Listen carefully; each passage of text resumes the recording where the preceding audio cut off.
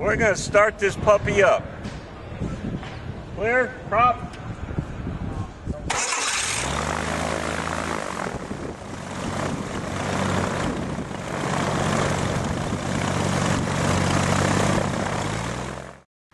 And welcome back to Tip of the Week. There's only about a week left before we get back to building on the Affordaplane project. In the meantime, I thought it would be nice to share a little bit about my flying background. And I have a short video. Let me first say that I started my flying career about 20 some years ago with ultralights. I started with a Challenger and then a Kolb Firestar. And then I went for my full blown private pilot's license. There, of course, I trained on Cessnas, things like that. The film I'm going to show you is when I decided to build a kit, small kit experimental aircraft. It's a Zenith 701. And the reason I'm showing you this is this aircraft is so similar in flying characteristics to ultralights that I want you to take note that this might be a good transition vehicle for learning to fly an ultralight. So let's take a look at the very first kit, experimental kit I built. Now this is again about 20 years ago, so uh, the dollar value has changed and the price of getting your license has changed. But the point is that I want you to watch the takeoff and landing of this vehicle and I want to let you know that it is so much closer to the way an ultralight flies compared to any Cessna or any other heavy small aircraft like that. So let's take a look.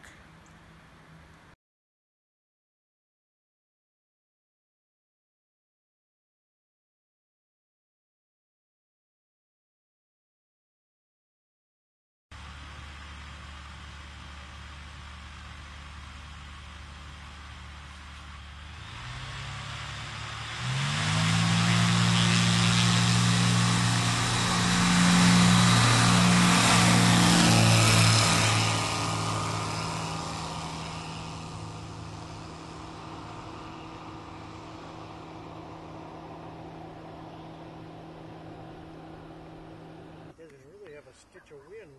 No, it's a perfect day for it. I Probably prefer that east-west runway.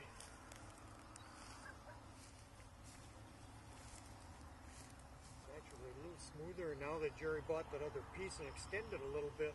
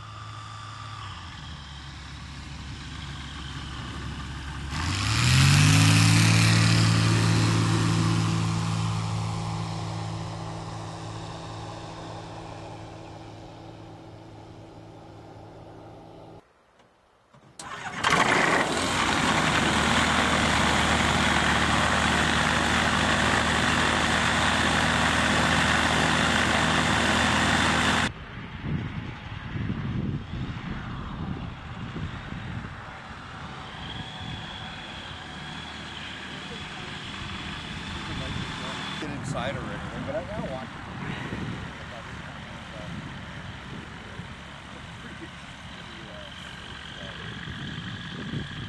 These factories, he's got like five hours on, he's driving around, goes to wood.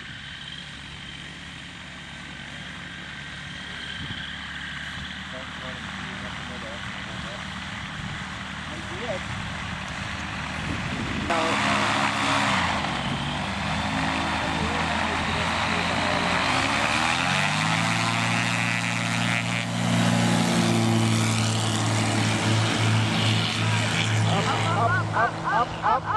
Gotta speed.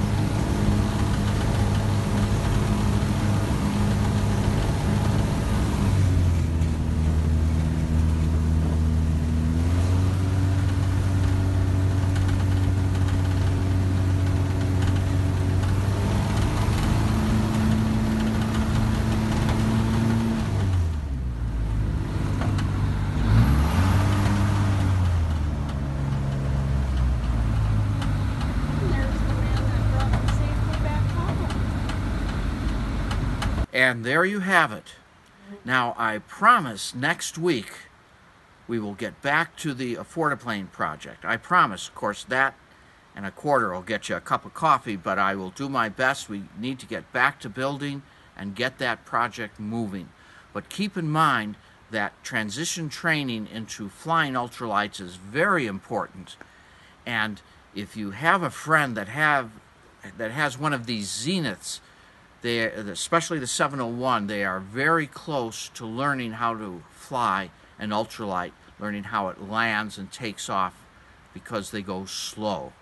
And that's the best way, the most fun when it comes to flying.